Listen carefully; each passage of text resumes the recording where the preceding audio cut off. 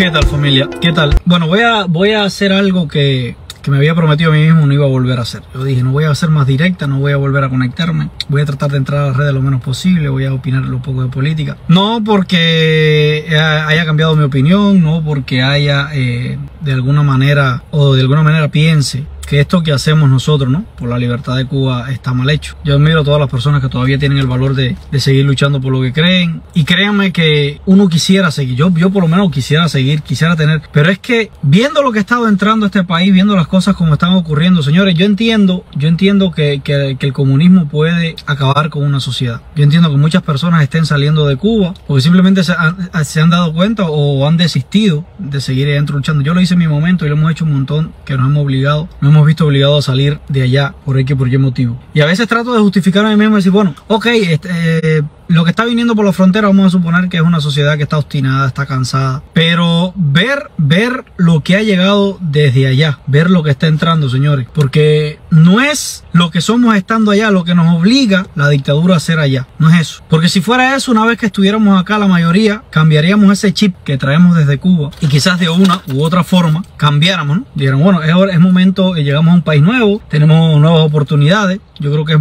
eh, no hay mejor momento que este para cambiar nuestra actitud, para cambiar nuestra forma de ser, para madurar en todos los sentidos, para crecer eh, como sociedad. Pero no, no, la sociedad cubana no, no, no quiere hacer eso. La sociedad cubana está en Cuba viviendo del otro. Está en Cuba buscando la forma de salir adelante sin importarle si le hace daño a otro. Pero es esa misma sociedad que llega acá y sigue pensando de la misma forma. Lo mío es salir adelante, a mí no me importa el que venga atrás, a mí no me importa cómo quedó el que está allá, a mí no me importa ni siquiera los valores morales de esta sociedad en la que entré nueva. Yo no nací aquí, yo no tengo por, el país no tiene por qué adaptarse a mí, yo tengo que adaptarme a las normas de este país. Y para la mayoría de los cubanos que, que nos ha tocado emigrar, para la mayoría de los cubanos que hemos salido allá huyéndole realmente a la dictadura, no hay nada más penoso, más bochornoso que ver cómo otras sociedades, como otros países, como otras personas de otros países nos tachan de una sociedad podrida y tener que bajar la cabeza si le tienes razón. Porque viendo las cosas como las veo, como las veo ahora que estoy aquí, viendo las cosas como las estoy viendo, y no solamente las estoy viendo yo, las está viendo yo creo que la mayoría de la, del pueblo de Cuba,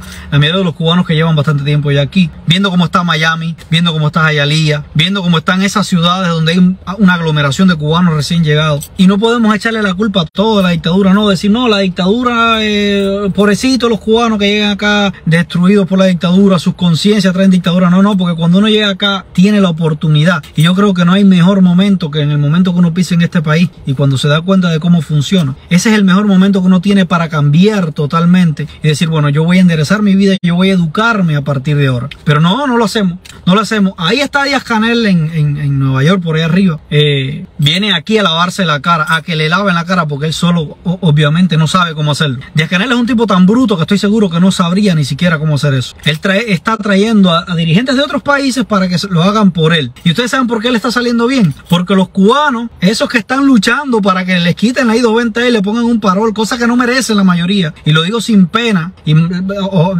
los cubanos pueden odiarme por decirlo, pero la mayoría de los cubanos que están aquí pidiendo parol, pidiendo I-220 y pidiendo asilo, son una banda de descarados que no hicieron nada, ni siquiera hablaron cuando estaba allá, ni siquiera fueron y saludaron, ni siquiera le saludaban a los disidentes y a los opositores dentro de Cuba porque le pasaban por el lado y para no buscarse problemas hasta viraban la cara. Pero bueno, ya están aquí y en vez de estar allí metidos en Nueva York, agarrar un vuelo, un bus, qué sé yo, montarse en su carro y agarrar por ir para allá, para por lo menos salir en la televisión con un cartel diciendo Díaz Canel, vete de aquí, no te queremos porque por tu culpa estamos aquí, no, están allí en el Versalles o reunidos por ahí en otro lado diciendo que no, las manifestaciones son para que nos cambien la I-220A por un parol sin siquiera saber lo que es una cosa y lo que es la otra, un parol humanitario que da este país a personas que andan huyendo de dictaduras. No, no, no, no, ellos no quieren que le cambien la I-220A por un, por un parol por eso, no, ellos quieren que le cambien la I-220A porque cuando tú conversas con la mayoría de los cubanos tienen la cara tiesa de estar aquí y decirte en tu cara sabiendo que tú eres un disidente dentro de Cuba, no, yo no estoy aquí por política. Bueno, ¿y por qué no le dice eso a un oficial de inmigración? No, porque no me conviene, viste que tú lo que eres un perro descarado. Y se lo he dicho en su cara y aquí dos o tres que saben que se lo he dicho en su cara aquí, me, me he tocado con ellos aquí en Leyland y se lo he dicho, usted es un perro descarado, usted es un sinvergüenza más de aquel país, porque es la realidad. Ah, no, pero en vez de estar allá, están ahí formando bulto en el Versalles, tratando de cambiar leyes de un país en el que no les pertenece, que ni siquiera tienen papeles, tratando de hacer las cosas que no hicieron en Cuba, porque en Cuba ninguno salió a la calle a manifestarse, no, aquí vienen a manifestarse aquí. No tuvieron el valor en Cuba ni siquiera de poner un post en las redes sociales, vienen a hacerlo acá, vienen a hacerlo acá, a pedir, exigir derechos en un país en el que todavía no tienen derecho, porque no son ni siquiera residentes, no son ni siquiera, ni siquiera tienen un estatus migratorio.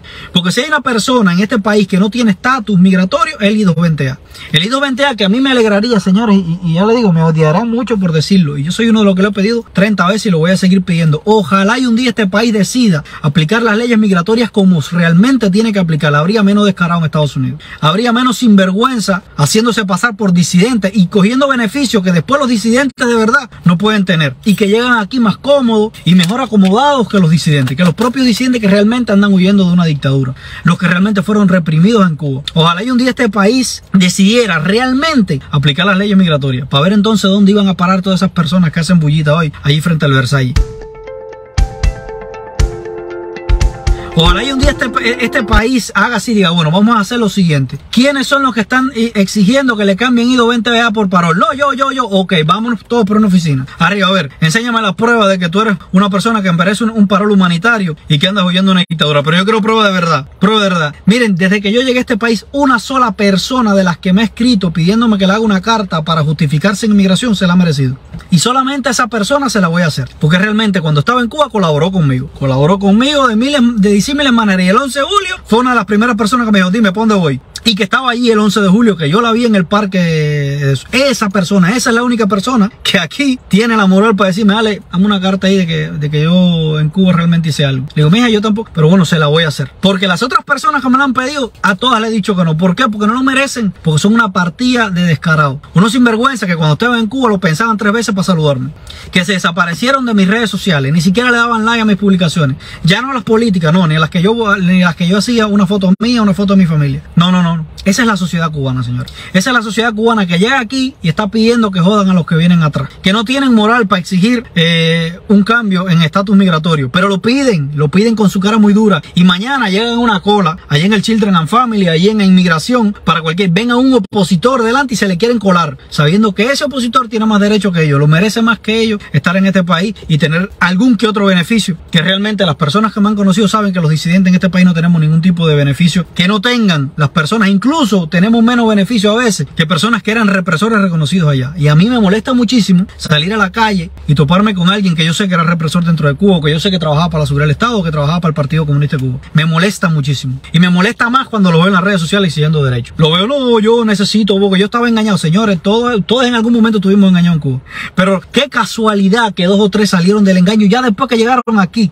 allá no, ellos estuvieron engañados hasta que salieron en el avión, hasta que aterrizaron a Estados Unidos. No hicieron absolutamente nada. Y cuando llegan acá, no, ellos somos más opositores que Otaola, ellos somos más opositores que Eliezer, que Ultra, que Yamila, que Alain Paparazzi, ellos son más opositores, más opositores que los Alexander, que Manuel Guerra, ellos son más opositores que, que todos los opositores que reconocidos que hay en Cuba y que hoy por hoy están acá, han tenido que salir de Cuba. Esa es la sociedad que estamos alimentando, señor. Y por eso estamos en lengua de los mexicanos, de los venezolanos, los venezolanos que están igual o peor que los cubanos. Y lo digo aquí, yo, yo me llevo con gente de Venezuela, me llevo con gente, pero están igual o peor. Estamos en lengua de los puertorriqueños, de los dominicanos, de, de, de un montón de países por ir para allá, que no entienden cómo es posible que tengamos tantos beneficios en este país cuando realmente somos una sociedad que sale para la calle a exigir una cosa que no merece. Ahí está Díaz Canel en Nueva York. ¿Dónde está la manifestación de IDO 20A? Allí, ganando de que cuando, o sea, buscando la forma de que cuando le llegue la hora del juicio, porque le va a llegar el, van a tener que pararse frente a un tribunal, olvídense, van a tener que justificarse ante un juez. Y yo diga, no, no, pero yo sí soy, yo sí soy opositor, mírame allí en Nueva York, eh, metiendo perreta porque estaba Díaz Canel aquí, porque estaba sentado en un país de democracia. ¿Cómo van a tener un dictador en un país con democracia? Pero no, esa no es la sociedad cubana. La sociedad cubana es la sociedad del oportunismo, del sinvergüenza y del descarado vividor.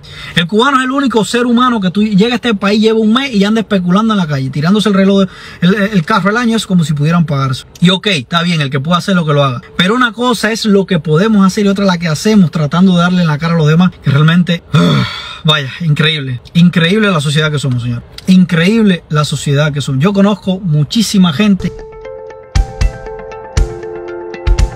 todavía está dentro de Cuba, que merecen más estar aquí, que un millón de gente que está acá, que no, no merecerían ni siquiera la oportunidad de montarse en un vuelo, no, no, no solamente para ir a Estados Unidos, sino para salir de Cuba a cualquier país. Gente que merecería morirse allí y no morirse allí como un país que algún día puede estar en libertad, no morirse allí en el mismo comunismo, para que cosechen todo lo que sembraron en su vida y toda la porquería que, que, sembraron en su vida. Yo conozco mil gente que está dentro de Cuba ahora mismo que no, no tiene cómo salir de Cuba, que merece más salir hacia, hacia los países, hacia un país en libertad, que muchas gente que ya están aquí y que todavía no saben ni siquiera lo que significa la palabra libertad. Porque oiga, somos tan brutos, tan brutos que salimos a una manifestación exigiendo un derecho para disidentes, pidiendo que nos quiten la I-220A porque queremos ir a ver a la familia. Cualquier oficial de inmigración con dos dedos de frente dice, bueno, a ese mismo que lo está diciendo yo lo voy a traer para acá, le voy a quitar la I-220A, le voy a poner la I-220B y lo voy a montar en el primer carretón que salga para Cuba. En la primera chalupa, vaya, si se aparece un delfín y yo sé que va para La Habana, se lo monto en el jorqueto en el lomo y le digo, agárrate de la aleta y dale para Cuba. Porque están pidiendo derechos que no les corresponden y entonces los están pidiendo y ya, ya no, les, no les corresponde, los están pidiendo y lo están pidiendo con la brutalidad de exigir que se los den para hacer la única cosa que les quita ese derecho. Fíjense, fíjense, porque si usted no está yendo de una dictadura, si usted no tiene miedo de estar en Cuba, usted no tiene por qué acogerse a la ley de ajuste cubano, en primer lugar. Usted no tiene por qué acogerse a ninguna ley política, a, ningún beneficio político. Pero no, no, esa no es la sociedad cubana. El cubano no piensa en eso.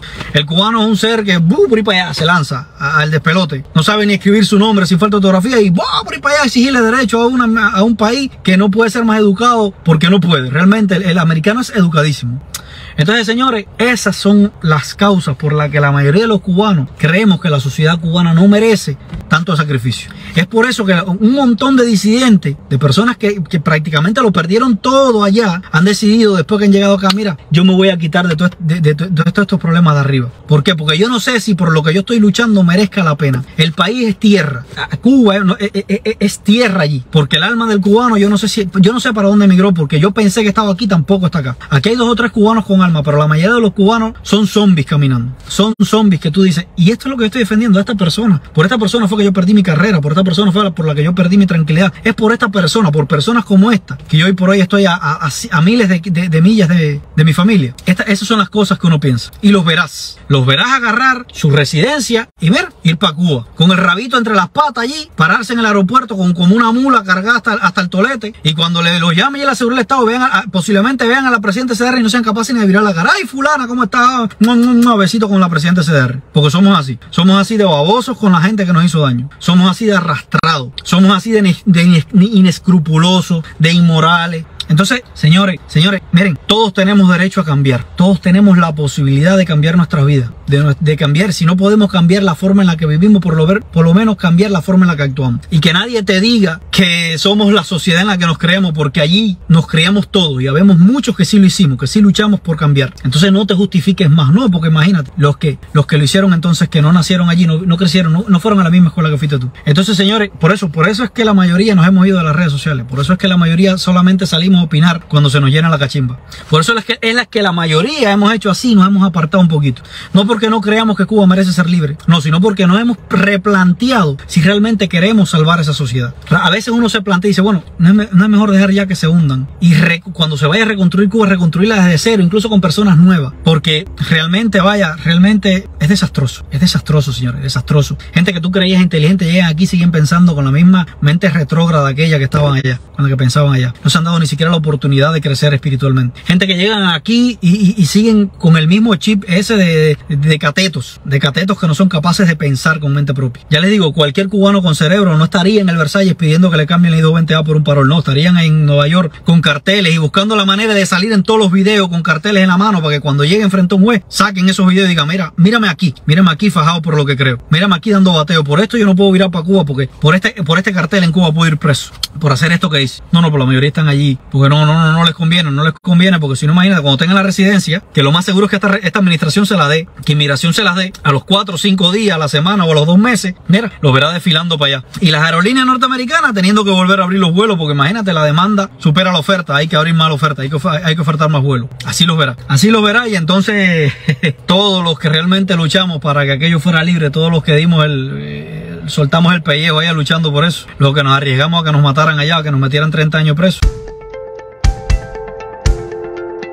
Vamos a haber luchado por gusto. Vamos a haber luchado solamente por nosotros mismos. O por defender una idea en la que nosotros creemos. Es así, señor. Entonces, cubano, llámate a la reflexión y, vamos a ver qué pasa. Ojalá, ojalá, ya les digo, yo no pido que cambien el I-220A por parol. No, yo pido que las leyes migratorias se apliquen como tienen que aplicarse. Para ver cuánto descarado había de verdad en Estados Unidos. Y que, eh, eh, y que reanuden los vuelos, sí, pero con que todos los vuelos que salgan para allá salgan con gente que realmente no merecía ningún tipo de beneficio. De esa gente que andaban por ahí en TikTok y que andaban por ahí por haciendo reel pidiendo beneficios que no le tocan. Con su cara, mira, muy tiesa. Y no pidiéndolos para quedarse aquí a luchar, porque ese no, ese merece todo mi respeto. Sino que queriendo beneficios que no le tocan para que apenas tengan la residencia, mira, salir volando para allá. Ojalá y un día la ley migratoria haga que todo el que se agarró un beneficio político y vuelva a Cuba le diga, no papi, no, mira. Cuando, se, cuando aterricen en el aeropuerto acá de nuevo le digan, no, no, espérate, espérate, espérate, quédate adentro. Ahora mismo te vamos a mandar un vuelo para atrás y tú vienes de allá del país en que tú saliste huyendo. Tú eres residente hace seis meses por una ley que dice que tú saliste huyendo de aquello. ¿Cómo tú vas a volver para allá? No, no, espérate, ir para allá si tú no tienes problema allá.